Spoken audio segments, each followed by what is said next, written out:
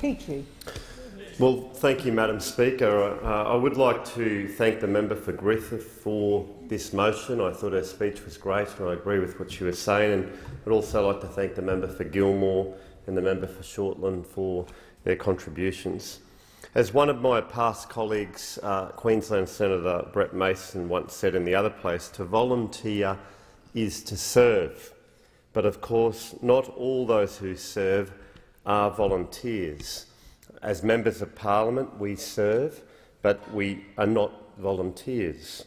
Our gallant Defence Force personnel, uh, our police officers, ambulance officers and firefighters uh, all serve as well and are exceptional community leaders.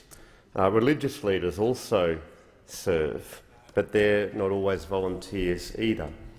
To offer service through volunteering is something indeed very special. Volunteers make a commitment to a cause or a person or a group of people that they are not required to make. There is no obligation for people to volunteer. Yet people do volunteer and they do it with much passion and enthusiasm and often love. The 11th to the 17th of May this year was National Volunteer Week and around the nation we celebrated the fact that six million Australians volunteer and make Australia one of the happiest place, places on earth to live. The theme this year was Give Happy, Live Happy, to highlight the fact that not only do volunteers help make other people's lives happier, but they are often happier as a result of their service. Throughout my time as the federal member for Petrie, I have definitely met a lot of happy volunteers, and I'd like to take this opportunity to thank them, every one of them in my electorate, for the very real difference that they make to our nation and our local community. Just the other day, I was at a local citizenship ceremony, and I met a young lady called Emily and her parents who had received Australian citizenship.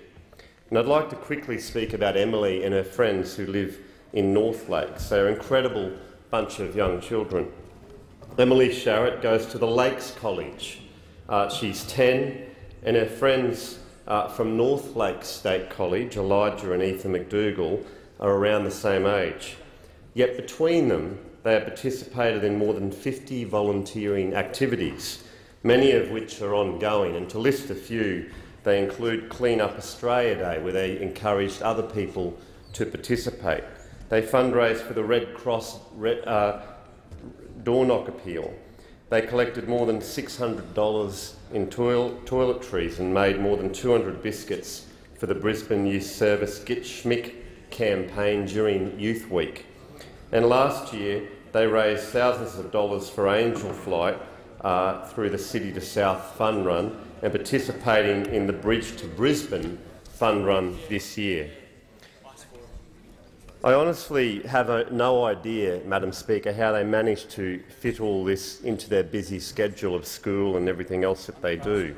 But I think that these young local volunteers certainly deserve our recognition.